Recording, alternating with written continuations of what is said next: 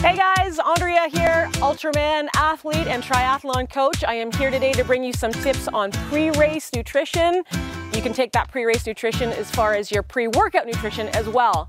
So one of the really key things that I want you guys to know about is that my body is gonna be a lot different than your body.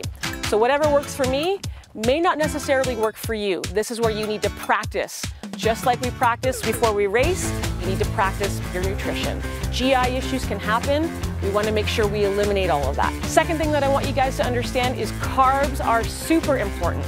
Carbs store in our muscles as glycogen, and we need this glycogen to help us fuel for a race. So make sure, maybe about a week before your race, maybe give it three days, four days, you are carbo loading like crazy. Before an intense workout, maybe the day before.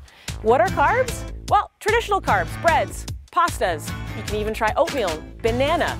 If those are too heavy for you, try a supplement, ActivFuel, powder, put it in your water, easy, light, you are good to go for your race. Speaking of race day, in my next video, I'm gonna tell you how to keep fueled for the whole entire race, no matter how long it is. See you then.